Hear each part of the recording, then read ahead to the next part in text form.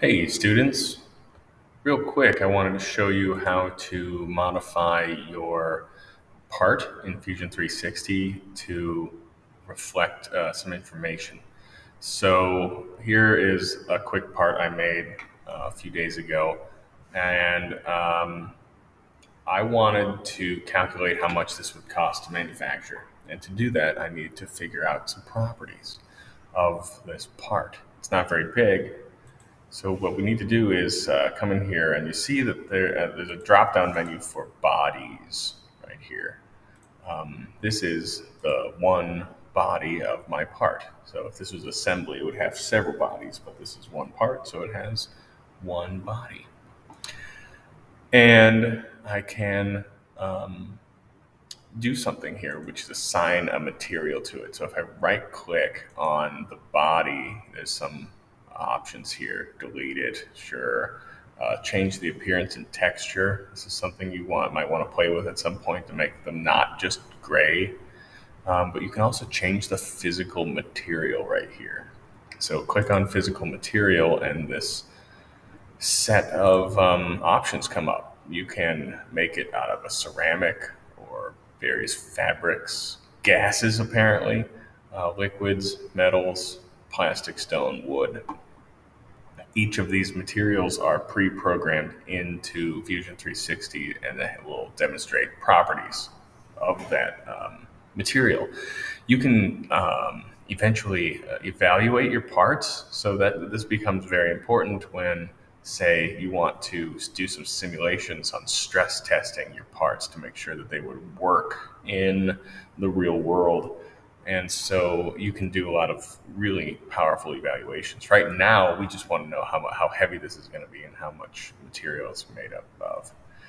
So um, I'm going to make this out of a plastic. So here's a bunch of plastics right here. They're all in alphabetical order. And I'm sure there's a lot of these that you don't actually know what they are. Um, like what's laminate? I don't know. Nylon, you probably know what nylon is, but there's a lot of different plastics in here. And you can choose what you want your charm to be made out of. Uh, PET plastic is what uh, water bottles are made out of. Um, this PVC is what uh, a lot of some of your like jackets are made out of this, and also uh, plumbing is made out of uh, PVC. There's tons and tons of um, plastics. Let's see.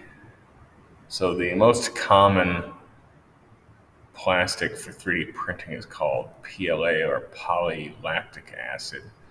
And I don't know if it's on this list, which would be really weird um, because this is a modern program. So it doesn't look like it's here. Which is unfortunate. Just general plastic. Who knows what that is?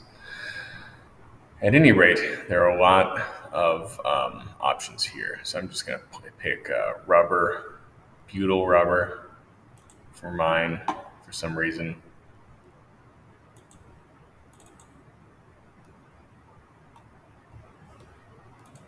And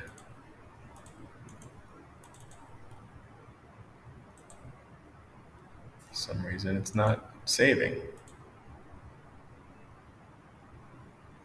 It is. No, it's steel.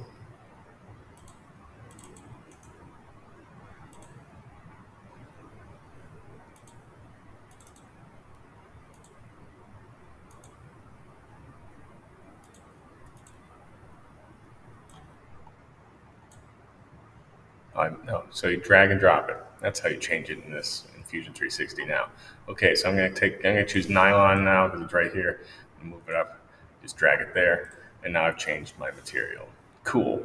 Close this window and you can get some more information here.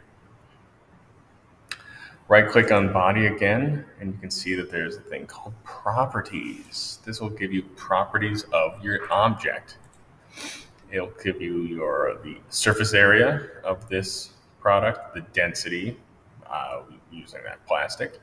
Uh, that's a property of the plastic itself, how much it would weigh, the volume, in this case is in millimeters cubed, um, some other material properties as well. Uh,